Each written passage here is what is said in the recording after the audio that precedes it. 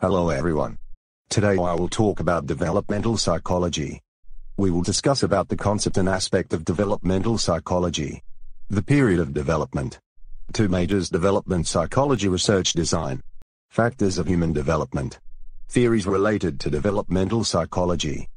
First concept is the study of how people grow, mature and change over the lifespan. Second, the focus of study is on the two major factors of development nature and nurture. Third, the pattern of movement or change that begins at conception and continues through the lifespan. Aspect of development. First, physical process that contain biological, genetic, hormone. Second, cognitive process. Changes in thinking, intelligence, language.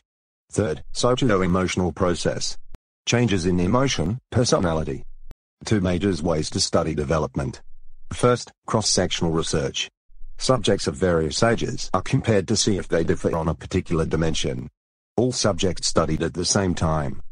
Longitudinal research. Same subject is studied at several times to determine whether they change on a particular dimension. Period of development. First, prenatal period. Second, infancy. Third, early childhood. Fourth, middle and late childhood. Fifth, adolescence. Sixth, early adulthood. Seventh, middle adulthood. Eighth, late adulthood.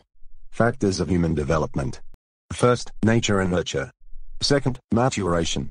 Third, early experience and critical periods. Nature and nurture debate.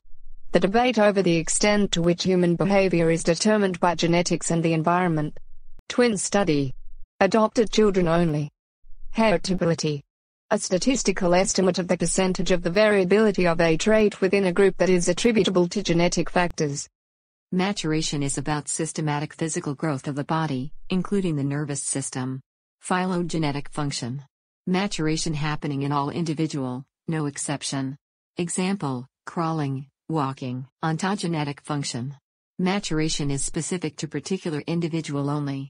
Example, drawing, dancing. Early experience and critical periods. Early experience. Experience occurring very early in the life of some animals during which certain forms of learning can take place. Critical period. A biologically determined period in the life of some animals during which certain form of learning can take place most easily. A period of time during which an organism must be exposed to a certain stimulus for proper development to occur. Two experiments. Early social deprivation, social attachment, Harry Harlow. Imprinting, Konrad Lorenz. Theory of Cognitive Development by Jean Piaget. Piaget states theory of intellectual development. First, sensorimotor stage. The child begins to interact with the environment.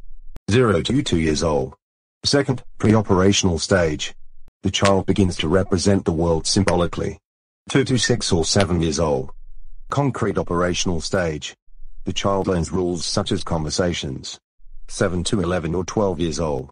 Formal operational stage. The adolescent can transcend the concrete situation and think about the future. 12. Adulthood. Personality slash socio-psychological development by Erik Erikson. Erikson's eight stage of development. First, trust versus mistrust. Infancy. 0 to 1 years. Second, autonomy versus shame and doubt. Toddler. 1 to 2 years. Third, initiative versus guilt. Preschool. 3 to 5 years. Fourth, industry versus inferiority. Elementary school. 6 to 12 years. Fifth, identity versus role confusion. Adolescence. 13 to 19 years. Sixth, intimacy versus isolation. Young adulthood. 20 to 40 years. Seventh, generativity versus stagnation. Middle adulthood. 40 to 65 years old.